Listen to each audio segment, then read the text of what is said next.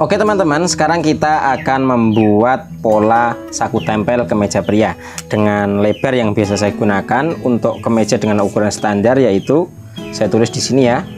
Lebarnya 12,5 cm dengan panjang ke atasnya sepanjang 14,5 cm.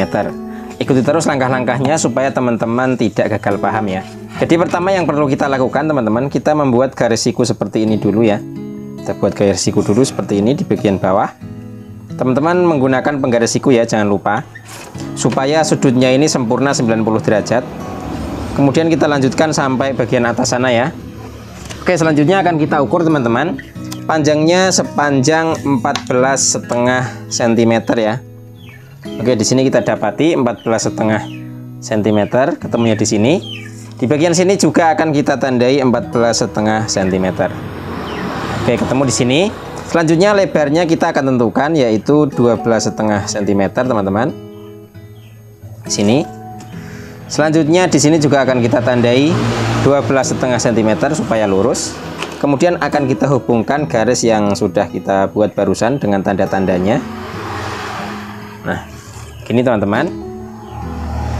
Ini adalah pola saku yang masih siku ya. Nanti akan kita bentuk supaya sakunya ketika dipakai itu tidak miring. Nah, caranya teman-teman, kita akan naikkan setengah sentimeter di bagian sini teman-teman. Oke, kita naikkan setengah sentimeter di sini teman-teman ya. Sini kita naikkan setengah sentimeter. Di bagian sini juga akan kita naikkan setengah sentimeter. Oke, seperti ini. Selanjutnya kita hubungkan ya teman-teman. Hubungkan dari ya dari sini ke sini teman-teman menggunakan penggaris lurus. Oke sudah. Selanjutnya yang bawah juga akan kita hubungkan teman-teman. Nah seperti ini ya. Selanjutnya di bagian bawah sini akan kita bentuk uh, sudut di bagian kanan dan kirinya. Kita naikkan satu setengah cm ke atas.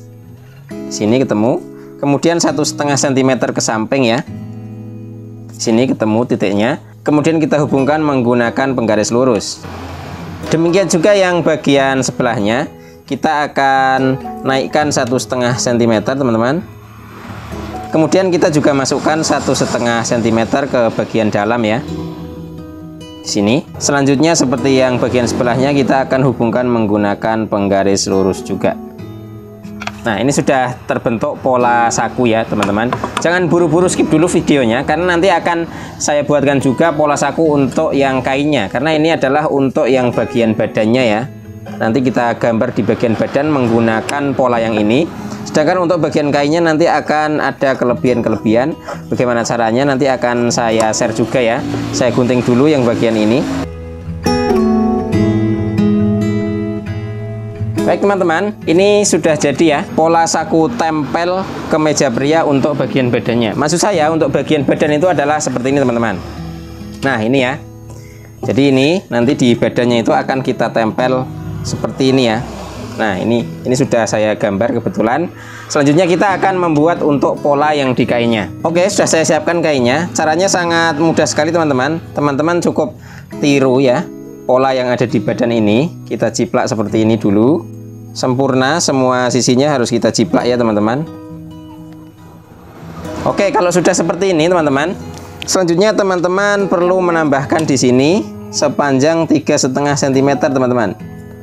Sini ya tiga setengah cm bagian sini juga tiga setengah cm kemudian kita hubungkan menggunakan penggaris lurus teman-teman. Pastikan antara titik yang satu dengan titik yang lain benar-benar lurus ya.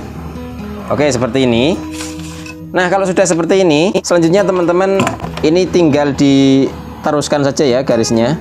Yang ini kita teruskan ke bagian atas sana. Kita beberaskan ke sana. Begitu juga yang bagian sebelahnya ya teman-teman. Kita lanjutkan kita teruskan menggunakan penggaris lurus seperti ini. Oke selanjutnya kita potong di sini teman-teman. Kita potong di bagian atas pas di sini ya Nah untuk yang bagian samping-sampingnya kita potong kita beri kelebihan 1 cm tidak usah digarisi ya ini menggunakan insting saja. 1 cm kurang lebih segini teman-teman. Tidak terlalu pas 1 cm juga enggak masalah karena nantinya ini akan ada di dalam baju ya atau kita lipat. Seperti ini teman-teman. Oke. Pelan-pelan saja jangan buru-buru dulu di skip videonya karena habis ini akan saya contohkan bagaimana cara memotong pola di kainnya. Oke selanjutnya saya siapkan kainnya teman-teman ya. Oke di sini sudah saya sediakan kainnya. Selanjutnya akan saya tempelkan di sini pola untuk sakunya teman-teman. Selanjutnya akan kita jiplak seperti ini. Ini saya menggunakan spidol ya teman-teman. Mungkin kalau ada yang tanya Bang kok menggunakan spidol? Apa nanti bisa dihilangkan ini teman-teman nggak perlu khawatir ya karena ini spidol khusus untuk kain. Jadi nantinya beberapa jam atau beberapa hari kemudian nantinya akan hilang sendiri teman-teman. Oke di sini sudah jadi teman-teman ya. Selanjutnya di sini akan kita tandai tiga setengah cm teman-teman. Di sini tiga setengah. Kemudian bagian yang satunya juga tiga setengah cm dan kita hubungkan menggunakan penggaris lurus ya. Nah kalau sudah seperti ini selanjutnya tinggal kita gunting saja teman-teman teman-teman nggak perlu terburu-buru mengguntingnya karena target kita adalah kerapian ya bukan asal cepat tetapi target kita adalah menjahit yang rapi dan rajin seperti itu. Digunting saja mengikuti garis yang sudah kita buat teman-teman ya. Mudah-mudahan teman-teman paham ya dan untuk video bagaimana cara menjahitnya atau memasangnya di baju kemejanya nanti akan saya bikinkan di video selanjutnya ya. Jadi jangan lupa pencet subscribe-nya, jangan lupa nyalain loncengnya kalau teman-teman nggak mau ketinggalan video-video terbaru update seputar dunia menjahit ya. Saya Bang Taylor, sampai ketemu lagi di video selanjutnya. Salam, satu jarum.